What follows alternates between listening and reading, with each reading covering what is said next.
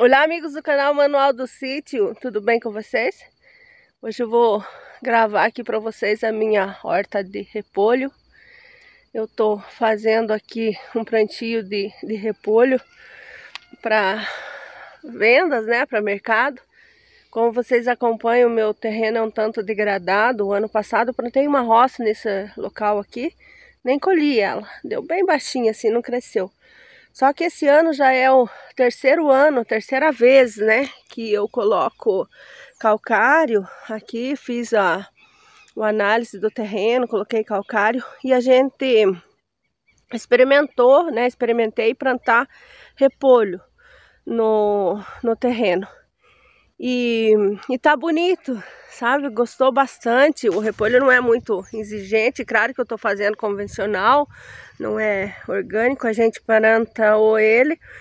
E agora de 8 em 8 dias eu passo um adubo, de 8 em 8 dias também a gente passa um defensivo.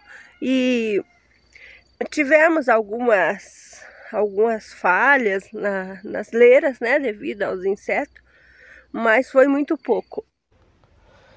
Então a horta ela ela tá bonita, a gente ela tem mais de mês aqui já, praticamente 40 45 dias indo para 50 dias de, de plantado. A gente plantou dia 18, acho, de maio. E fez dois taião, lá em cima e aqui. Ele tem 7 mil pés aqui, claro que ele deu alguns algumas quebras é, devido os insetos, né? As formigas atacaram um pouco, o grilo começou a cortar um pouco, então ele teve uma, uma falha, dá para se notar nas leiras algumas falhas. Mas são poucas, a quebra de, de, de plantio, eu não sei se chegou a dar aí 200 pés. Então ele, ele deu uma perca bem, bem pouca, menos do que eu imaginava, porque aqui tem muito, muito, muito, muito inseto. Esse terreno é o primeiro ano que a gente faz horta, então ele tá totalmente contaminado aqui, né? Não, não, não tá manejado o solo certo. Deu muito, muito pouco. A irrigação que a gente fez, né? Que pegamos do lado de baixo, lá onde é que tá aquela casinha do motor lá, a gente colocou um motor estacionário. É, e usamos alguns é, bicos desses aqui, aspersor, para irrigação. É, na verdade, coloquei 20 bicos desse daqui. Não gostei deles, tá? Não gostei porque eu não, não pude comprar o, o o filtro e ele entupiu os biquinhos do, do aspersor com muita facilidade. Então deu muito trabalho e, e ficou trabalhoso. Aí a gente fez aqui uma, um aspersor manual. Ó, eu usei esse daqui, ó, tô usando ainda. Ele dá certo esse daqui, ele joga bem, molha bem. Mas eu fiz um manualzinho aqui, ó, caseiro desse jeito aqui, apenas com tampão, um arame e um prego, um prego de eternite. E, e foi maravilhoso, gente. Não, não precisava ter comprado, gastado com, com aspersor, apenas com essa pecinha aqui, ó. Já era o suficiente. Abre aqui para vocês verem, ó.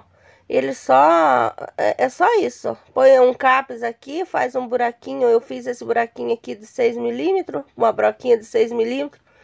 Aí quando a água vem, ela esparrama é, assim, uniforme. Então eu coloquei as leiras aqui de acordo que uma encontra a outra. Moia muito rápido porque o meu motor ele é muito potente e eu tive dificuldade, né, para fazer a, a molhação devido devido à falta de encanamento. A mestra que vem aqui é 3 polegadas, né, um cano, um cano de 75 milímetros, então ele vem bastante água. Mas para molhar os, os aqui, é, ele não dá conta de uma, de uma leira desse aqui que eu coloquei de uma polegada, tá? Então, quando eu fecho para irrigar, a água, ela ela volta e a, e a bomba não joga, né? Ela tem um, uma defesa lá que quando força o motor, ela para de, de puxar água. Então, se a gente fechar os registros para para molhar bem nos aspersor, ele não não dava certo. Ele tem que molhar com tudo essas pontas abertas aqui. Eu fiz aqui 12 saídas. Aí ela, ela molha toda a quadra. Então é com aqueles bicos lá que eu fiz caseiro, ele gasta bem pouca gasolina porque moia bastante, assim, dentro de 5 minutos já moia a quadra toda, gasto pouca gasolina e moia muito bem. Melhor do que os bicos, que demora o tempo, muito mais tempo do motor ligado para molhar. Então era isso, pessoal. Espero que vocês tenham gostado. Eu fiz, irriguei aqui 2.500 metros quadrados. Eu gastei 4 mil reais, mais ou menos, né? Aí com bomba e encanamento.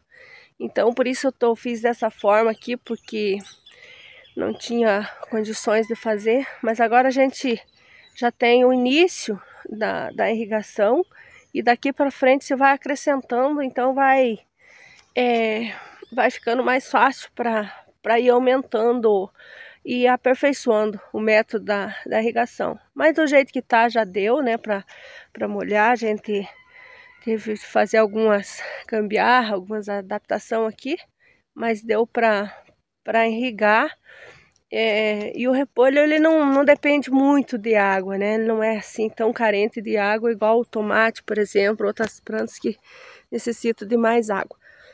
Então ele eu tô animada com o meu plantio, eu estamos pretendendo agora em agosto a gente colhe o repolho, vamos passar melancia aqui, né? Vou passar um plantio de melancia e vocês vão acompanhando aí no, no canal como que está sendo o processo da gente começar a tirar uma renda do sítio pequeno. Então, era isso, até o nosso próximo encontro. Fica inscrito aí para você não perder o vídeo de amanhã e até lá. Tchau!